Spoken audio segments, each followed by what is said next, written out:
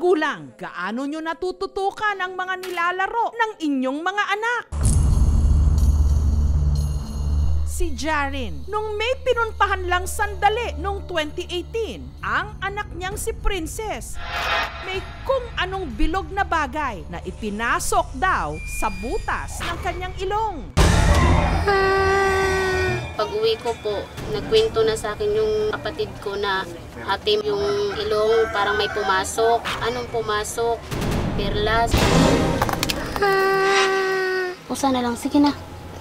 Nung silipin ni Jarin ang kaliwang butas ng ilong ng kanyang anak, nakita niya roon ang tila isang piraso ng perlas na galing daw sa laruang pulseras. Ganitong ganito po yung bracelet na pumasok sa ilong ng anak ko. Napasok ang alam ko eh. Kakumbok ulit ako. Masakit. Iyak ako ng iyak. Natakot na ako nun eh. Baka anong mangyari sa anak ko kasi hindi ko naman din kagustuhan ang nangyari. May bata raw na nabarahan ng perlas ang kanyang ilong. Pinasinga raw nila si Princess. Pero dahil nahihirapan na ang bata noon sa paghinga, Mm. dinala na nila agad ito sa ospital. Pinaulit-ulit ko po doon sa doktor na pakitingin na lang po kasi baka nandyan lang po. Sabi, sabi niya wala. Tapos niresitahan kami nung spray sa ilong hanggang isang linggo. Sinabi ko rin po sa doktor na, Dok, baka pwede po x-ray. Sabi niya wala na. Kaya umuwi na rin kami. Hanggang nito lang Marso, napansin ni Jarin na biglang may lumabas na dilaw na sipon kay Princess na merong masangsang na amoy. Sinilip niya muli ang ilong ng kanyang anak. At doon nakita niya ang tila perlas ng pulseras.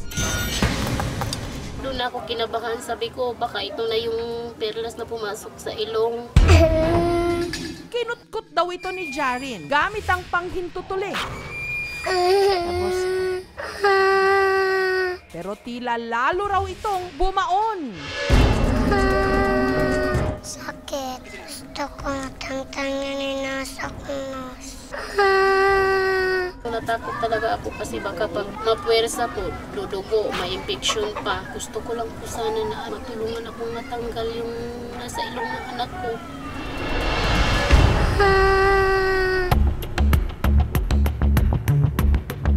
Kaya nitong Webes, sinamahan ng aming team si Jarin at si Princess na magpa-check up. Ipinasuri si Princess sa ear, nose, throat doctor. Gamit ang aparato, sinilip din ulit ang butas ng ilong nito. At doon, nakita ang perlas ng pulseras. Once yung foreign body po sa ilong, at hindi natatanggal for a very long time, pwede pong magkaroon ng mineral deposit. So, mas lalaki siya ng lalaki. Agad sumailalim si Princess sa operasyon.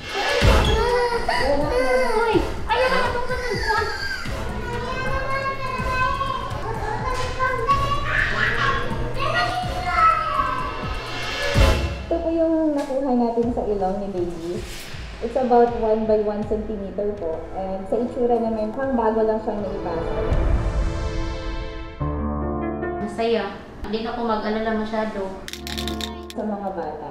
Kasi may tendency silang maglagay ng foreign body kung saan-saan sa ilong or sa tenga. Once andyan siya, magkakaroon po ng simptomas gaya ng pagbaho ng ilong. Minsan dumudugo yung ilong.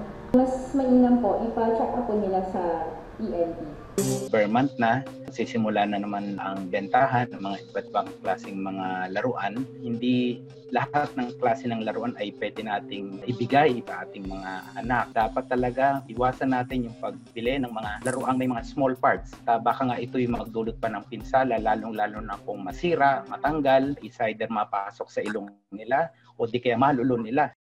Ang mga bata, likas na malikot. Susubukan ang lahat, kahit pa yung mga delikado. Kaya ang mga nagbabantay sa kanila, dapat listo.